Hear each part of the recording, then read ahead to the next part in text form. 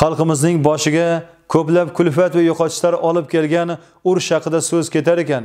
O'tgan asrning 70-80 yillarda afg'onistonda bo'lgan mash'um urush ham tilga olinadi. Afg'on urushi qatnashchilari ham xotira va qadrlash kuni arafasida quroldoshlari bilan uchrashib marhumlarni xotiraladilar. Navbatdagi lohamiz shu xususda. Afg'oniston tuprog'idan sobiq ittifoq qo'shinlari olib chiqilganiga 32 yildan ziyod vaqt o'tgan bo'lsa-da, urush o'zbekistonliklar ko'ngliga solgan jarohatlar hali bitgani yo'q. Boisi sobiq ittifoq armiyasi safida 65 ming nafardan ziyod o'zbekistonlik, ayni kuch-quvvatga to'lgan navqiron yigitlar ushbu mash'um urushga jo'natilgan. Ularning 1500 nafariga ota-onasi bag'riga qaytish nasib etmagan, ayrimlari nogiron bo'lib qaytishgan. Hozirgi kunda tumanimizda 280 nafar sobiq afg'onchi jangchilar istiqomat qilishadi. Ularning barchasi ham urush asoratlari tufayli sog'lig'ida muammolari ko'p bo'lsa ham bugungiday dorlomon kunlarni ko'rganlariga behisob shukronalar aytishadi. Yurtimiz tinchligi, osoyishtaligini tilab, tinmay duolar qilishadi. Tumanimizning Qumyob mahallasida istiqomat qiluvchi Haytboy Jumakayev armiya xizmatiga chaqirilganida 19 yoshida edi. Uning safdoshlari dastlab Termizda harbiy tayyorgarlik mashqlaridan o'tishdi. Ularni 1980 yilning 20 dekabrida samolyotda Afg'oniston poytaxti Qobulga jo'natishdi.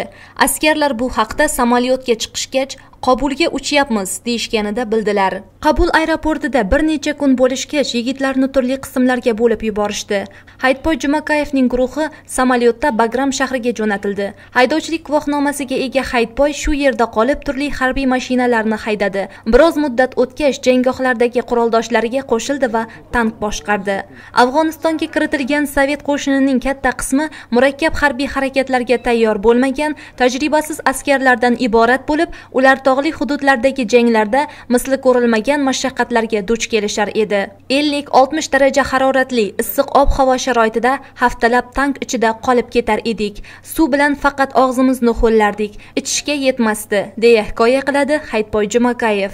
U ayovsiz janglarning birida 1982 yil iyunda og'ir yaralanib harbiy shifoxonaga jo'natildi. Davolanib yana jangga qaytgan yigit 1982 yil kuzida eson omon ota onasi bag'riga qaytdi. U qishlog'iga qaytgach ham uzoq yillar haydovchilik qildi. Oila qurib ikki o'g'il ikki qizlik bo'ldi. Umr hamdami guloyim kenjaboyeva bilan hozirgi kunda to'qqiz nafar nevaralar tarbiyasi bilan band. Oilada tomorqa yer ijara yerdagi ekin tikin ishlarida o'g'illariga maslahatchi ko'makchi. Hayitboy jumakayev bugungiday tinch osuda baxtiyor zamonda yashayotganiga tinimsiz shukrona aytadi. Biz sobiq afg'onchi jangchini 9 may xotira va qadrlash kuni bilan qutlash uchun borganimizda uning xonadoni yoniga quroldosh do'stlari ham bayram bahona tashrif buyurishgan ekan. Musofirlikda jangu jadallarda bir biriga tog'day suyanchiq ruhiy madad bo'lgan qadrdonlarning afg'on tuprog'ida kechirgan kunlari haqida so'zlarini tinglashning o'zi odamni qo'rquvga soladi. Bugungiday tinch osuda hayotimizni qadrlashga asrashga undaydi. Haytbay aka e, siz ikki yil afg'on tuprog'ida jang qilib eson omon yurtimizga qaytib kelgan bir baxtiyor afg'onchi jangchilarning жолдардың бірісіз чүнки көп гана түмәніміздің мәрт жәсүр навқұран оғлалары ұшу ұрышта халак болды міне бүгінгідей күнлерге етіп келгенімізге мың мәрте шүкір дейміз шу афған хатыралары хақында есіңізде қағанларынан бір айтып берсеңіз сексенінші жылы шу амма жігіттер қатары армия шақырдық Сұрқандарияда екі, екі армия таярлықта болып сексен жыл декабрьда ауғанстанға ұшылық қабылға барып түстік. Янгил янгилдің арапасында қабылдан баграмға келдік. Баграмда артиллерия шасқа түсіп өрдайына бір жарым ай даярлықтан өткізді частың өзінде. Бір жарым айдан кейін хақиқи съемка служба башланды біздерге Ояқта шу берді қазіргі апташ дос аптиды, бұрынғы дос аптиды, қазіргі апташ қолда оқытып даярлап жатыр біле шоп. Ояқта шу шопыр болдық, артиллерияда. Шу бұйырған жеріне барып, оқтары машинада Машина арқасында пушка гаубица дейді. Алты баладан барады, командир болады, шопыр. Камера өтміс болды бұйырылған тапсырманы ара дәрежеде бәжердік бәрін қолдан келгенше шу яшылықтарды қылдық әммәмізге шу адамдар шу жерден барған жігіттер бір біріне қадірдам бақты қадірдам болды сәксен екен үйінде осколочный ранение болып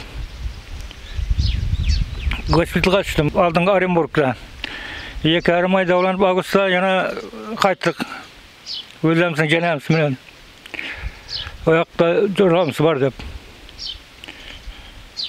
мен сексен екінің ноябрінде службаны тамамдап қайттық аман сол міне қазіргі уақытта жұртымыз тыныш тоқчылық оқышқа hamma затқа imkoniyat бар бүкіл жеткенде құдайға шүкір шу жақсыларға айтып o'qing мейірлі ақыбатлы болың азыры күндерде де шу бір кеткен жорламыз бар жорламызбен жиналып бесілеп тұрамыз үйлеріне барамыз қабырап ushbu mahallada afg'on qirlarida bemavrid vafot etgan zarfboy xudoyorov istiqomat qilgan.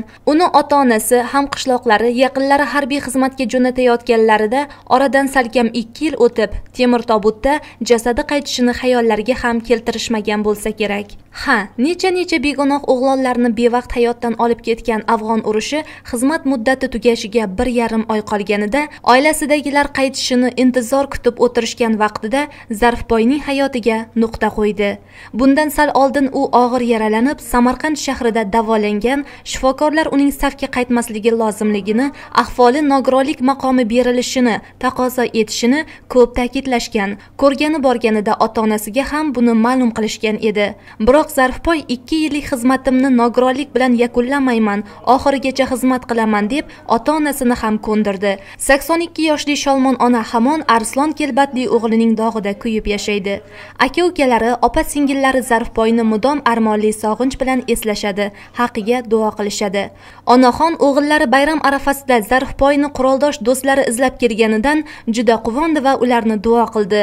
Afg'on urushi og'ir jarohatini totib yashayotgan yana bir oila qipchoq ovuli hududidagi soliboy otajonovning oilasidir. U yetti o'g'ilning biri edi. Farzand dog'ida o'rtanib ota onasi dunyodan o'tib ketishgach hozir oila chirog'ini katta akasi rajabboy otajonov yoqib o'tiribdi. Tug'ishganlar ota uyiga yig'ilganlarida doim soliboyni eslab so'zlarini ishlarini yodga olishadi. Haqiga duo qilib ko'ngillari taskin topadi. Solijon otajonov quroldosh do'stlarining ham doimo yodida. Har yilgi an'anaga ko'ra ular bu yil ham bayram arafasida uning xonadonida bo'lib haqiga qur'on tilovatlar qildilar. Yaxshi xotiralar bilan esga oldilar. Xonadon sohibi ukasining do'stlaridan buning uchun juda minnatdor bo'ldi. Afg'on urushida umrining ayni g'ayrat shijoatga to'lgan davrida bemavrid halok bo'lgan o'g'lonlarni butun xalqimiz unutmaydi. Hurmat ehtirom bilan doimo esida saqlaydi. Zero inson xotirasi har narsadan azizdir.